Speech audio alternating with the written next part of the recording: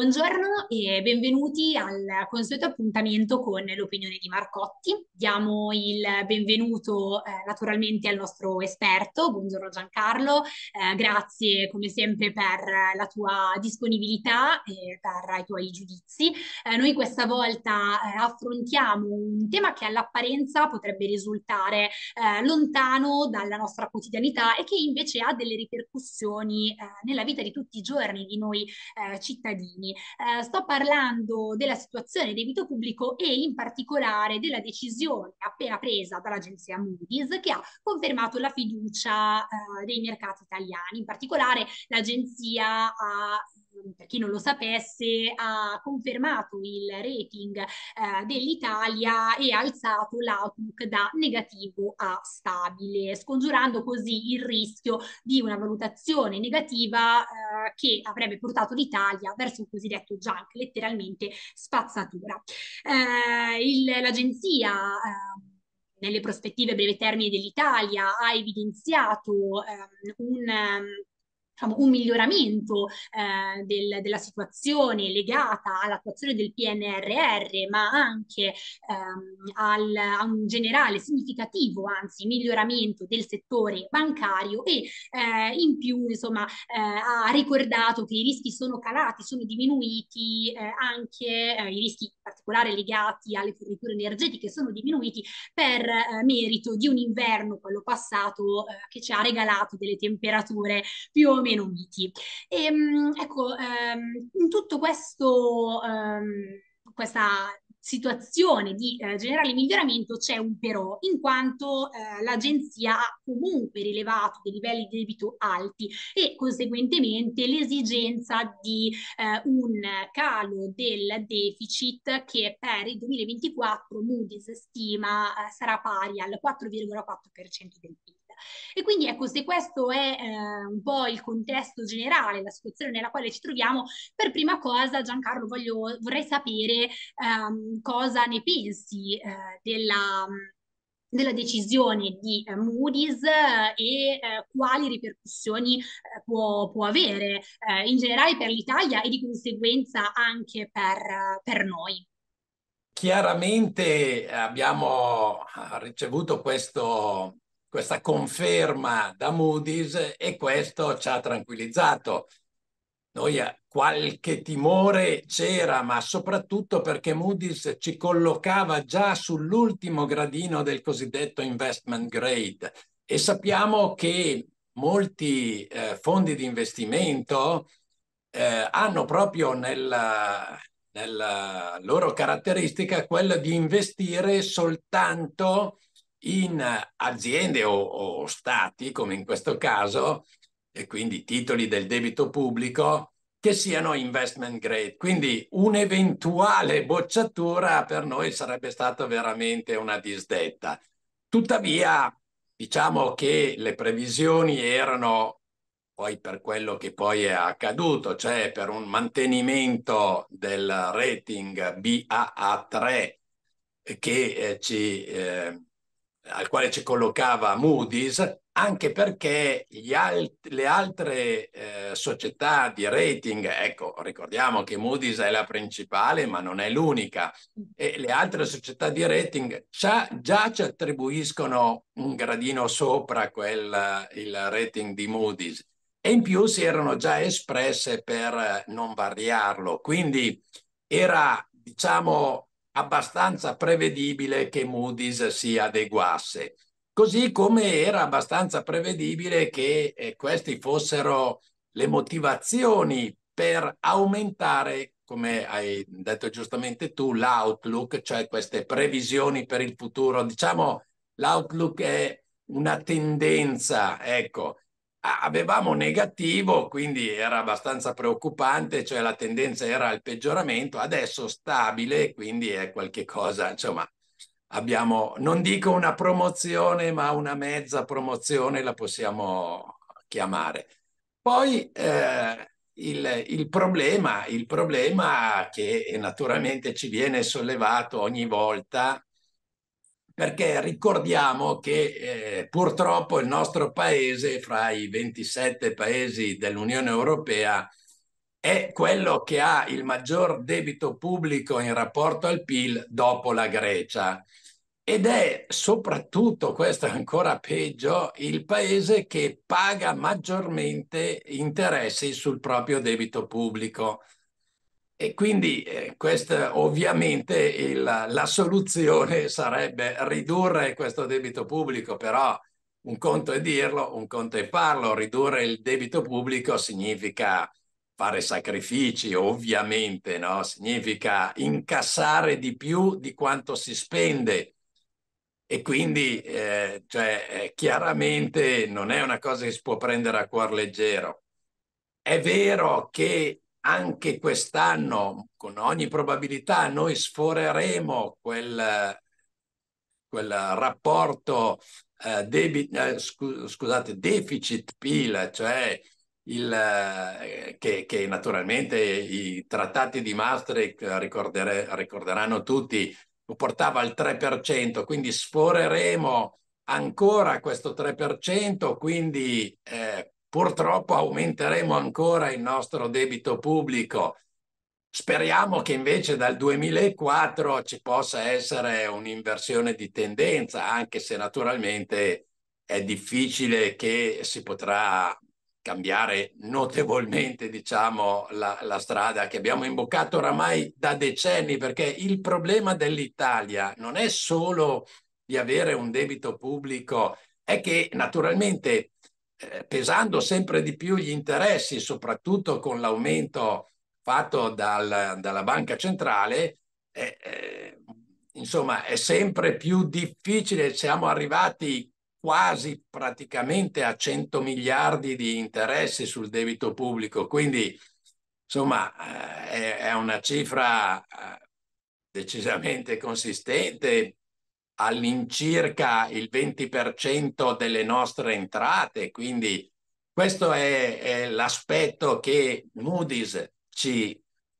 sottolinea ma è l'aspetto che noi sappiamo perfettamente che è il, il tallone d'Achille del, del, nostro paese, insomma, questo debito pubblico. Tuttavia, eh, vedremo, insomma, nei prossimi anni se riusciremo in questa... Eh, in, quest'opera, diciamo, di riduzione del debito pubblico, cosa non facile per nessun governo, perché insomma è chiaramente si perde in popolarità e, e, sappiamo che ai politici se diminuisce la loro popolarità eh, hanno, hanno, difficoltà. Quindi, vabbè, eh, stiamo a vedere. Comunque, perlomeno, ecco, tornando a, e concludendo il mio intervento, perlomeno Moody's non ci ha fatto un brutto scherzo, insomma, non ci ha proprio promosso, ma quasi e di conseguenza per il momento insomma accettiamo con, uh, con favore questo, questo giudizio. Io mi rifaccio a una tua osservazione, in particolare eh, hai giustamente sottolineato che il debito pubblico è eh, tallone di Achille del, del nostro paese. Eh, e quindi mh, mm, eh, mi metto un po' nei panni di eh, molti cittadini e della preoccupazione più o meno dilagante legata proprio al debito pubblico italiano. C'è chi in qualche modo ehm, manifesta una sorta di allarmismo e allora ti chiedo, dobbiamo davvero essere preoccupati? Eh, c'è davvero da temere eh, quasi una catastrofe verso la quale l'Italia è destinata ad andare incontro, una situazione di default eh, o insomma possiamo tirare un sospiro di sollievo? Proprio un sospiro di sollievo? Magari no, però naturalmente neanche la catastrofe, non parlerei di default per l'Italia, semplicemente perché dall'altra parte della medaglia abbiamo invece come, come popolazione, siamo una popolazione di risparmiatori, per cui il, il credito delle famiglie italiane, cioè eh, è rilevante, quindi è vero, questo viene sempre fatto notare, però insomma bisogna fare un ragionamento un po' più compiuto, no? Cioè, eh, io ho un debito di 100 però in banca ho 200 e dico sono tranquillo. Certo, sono tranquillo, però devo sapere che nella realtà in banca non ho 200, ho 100 perché il debito prima o poi lo dovrò saldare. Quindi questa è la cosa che insomma bisogna sempre tenere presente. Dire che gli italiani, essendo dei risparmiatori, insomma, hanno eh, sui loro conti correnti, sui loro investimenti, insomma, un patrimonio eh, molto superiore a quello che è il debito pubblico. È vero, però attenzione, tanto il patrimonio in capo agli italiani è principalmente dovuto alla questione immobiliare, cioè gli italiani è un loro pregio, eh, non voglio sminuire, però gli italiani sono il, il popolo in, in, Europa, la popolazione in Europa che eh, maggiormente è proprietaria dell'immobile nel quale vive. Quindi gli italiani sono proprietari delle loro case, o comunque, insomma, naturalmente non tutti, ma in larga parte.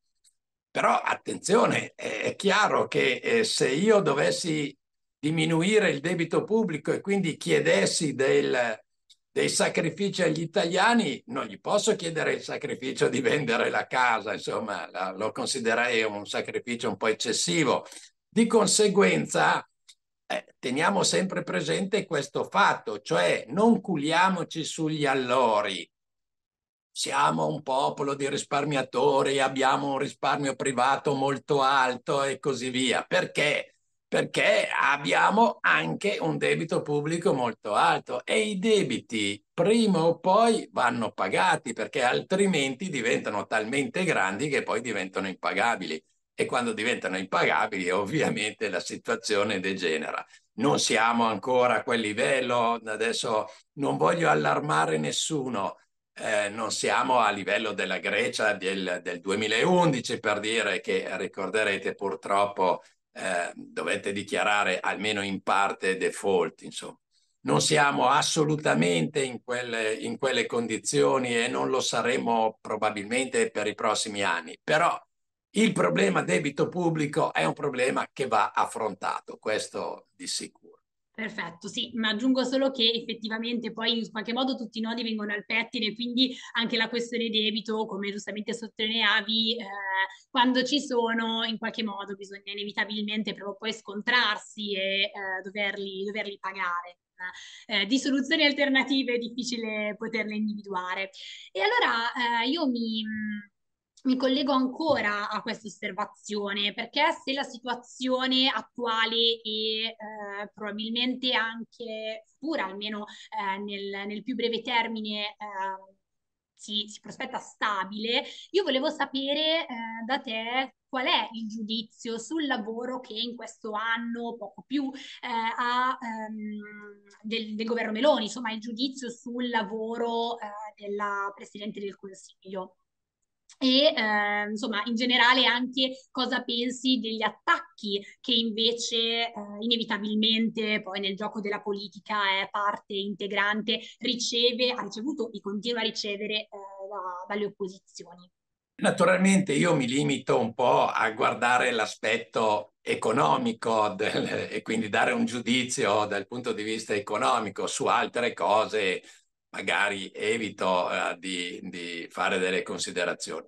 Allora, il problema del governo Meloni è che ereditava una situazione per nulla piacevole, diciamo, eh, perché soprattutto per due aspetti.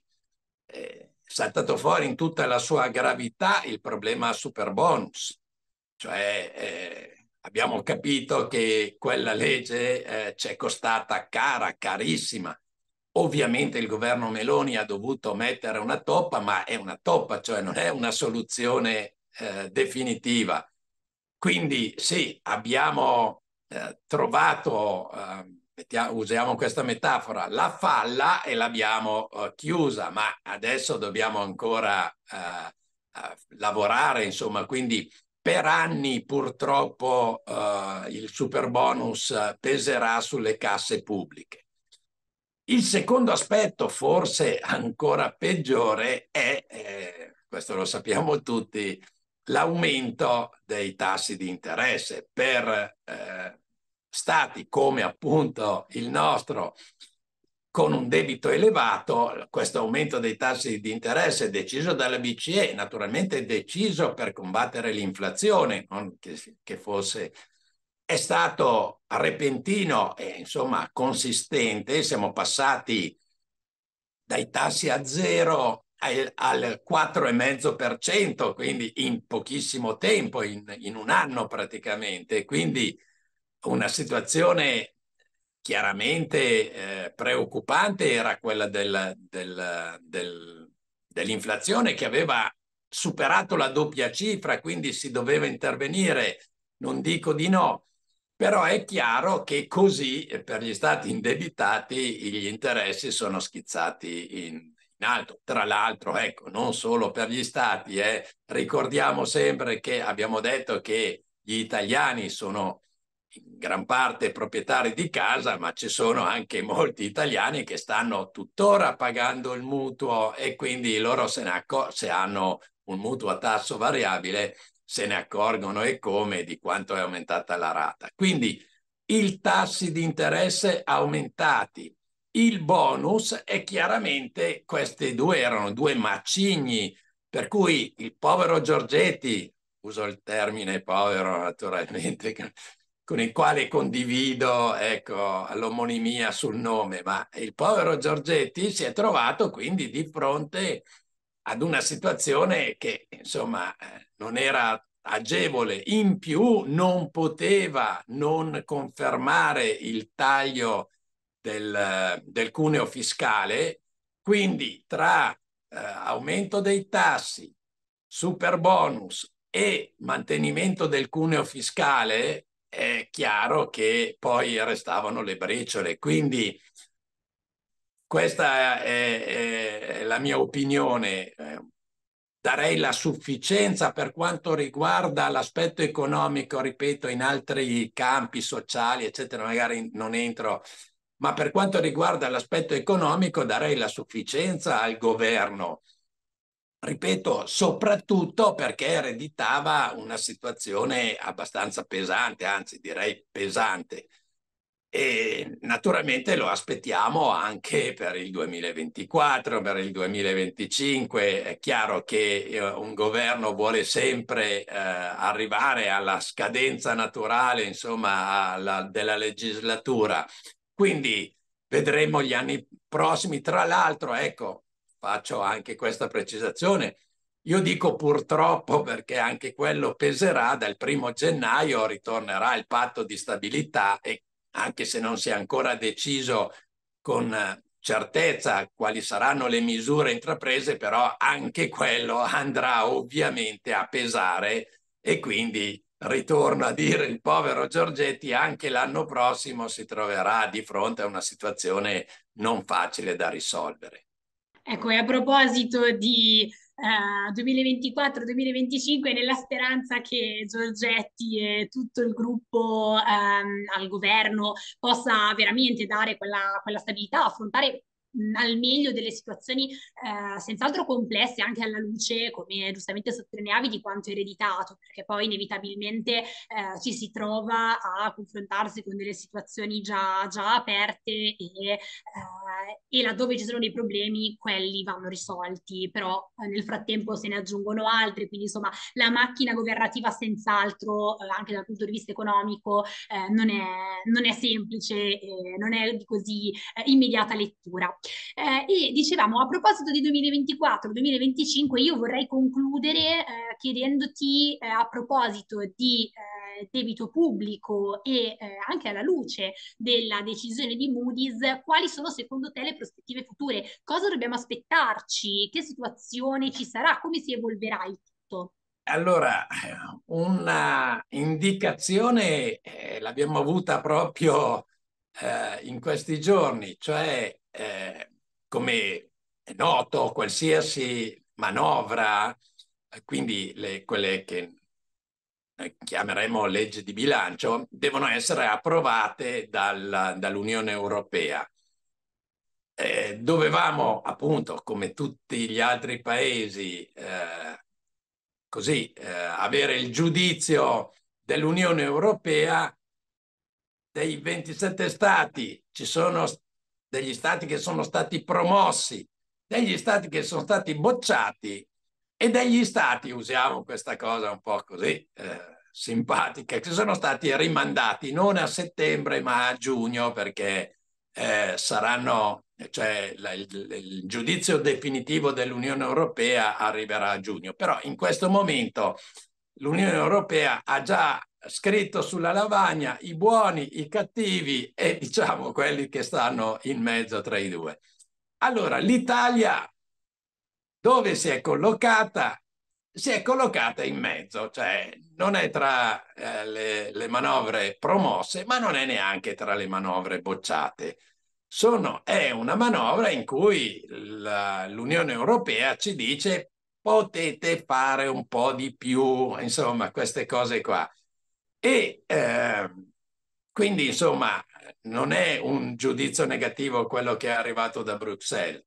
Attenzione poi che nella nostra categoria, cioè in quelli non promossi ma non bocciati, chiamiamoli rimandati, eh, eh, guardate che siamo in ottima compagnia perché con noi c'è la Germania, l'Olanda e l'Austria, che sono tre stati normalmente considerati frugali, insomma, quelli abituati ad essere sempre promossi a pieni voti.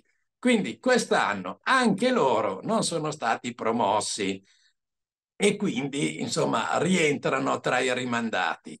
Ma attenzione, uno Stato come la Francia rientra invece tra i bocciati. Eh, questo è un altro aspetto. Quindi, insomma, eh, mi hai fatto questa domanda, eh, cosa prevedo nel 2024? Io spero che il nostro, eh, cioè la nostra Italia eh, si dimostri, insomma, per quella che è un paese laborioso, un paese con, con appunto eh, che, che, si fonda sulla piccola impresa, ma eh, la piccola impresa che lavora tanto, la piccola impresa che si sveglia presto la mattina e che va a, sera, e che va a letto la sera tardi. Quindi io sono convinto che, eh, fiducioso che l'Italia eh, possa ancora, insomma, eh, dimostrarsi una de, dei paesi più importanti dal punto di vista economico. Insomma, non siamo più al quinto, al sesto posto, siamo un, un, un, po' scesi, però insomma restiamo sempre certamente entro i primi dieci paesi al mondo. Quindi mi auguro che il 2024 sia un anno eh, insomma, nel quale possiamo, possiamo vedere un po' una ripresa, ecco, dopo gli anni della, della pandemia. Eh, già il 2023, chiariamo, non è stato male, se poi guardiamo la nostra borsa, è stato un anno eccellente, insomma, però speriamo che il 2024 sia ancora migliore, ecco. Ovviamente ce lo auguriamo anche noi, non possiamo che sperare, augurarci che veramente eh, la situazione possa solo che migliorare, anche perché, come detto inizialmente, eh, discorsi che all'apparenza possono sembrare eh, quasi astratti, difficili da toccare con mano, hanno in realtà delle ripercussioni concrete nella vita di, di tutti noi. E eh, giustamente l'Italia è un paese molto laborioso, ma è anche giusto che poi tutti i lavoratori possano raccogliere i frutti di questo questi sacrifici dell'alzarsi presto la mattina, come ricordavi, dell'andare eh, a letto tardi la sera. Quindi ehm, mi, mi, unisco al, al, tuo auspicio e penso che un po' tutti gli italiani possano eh, concordare. Io Giancarlo ti ringrazio. Grazie a te Asia e come di consueto un saluto a tutti gli ascoltatori.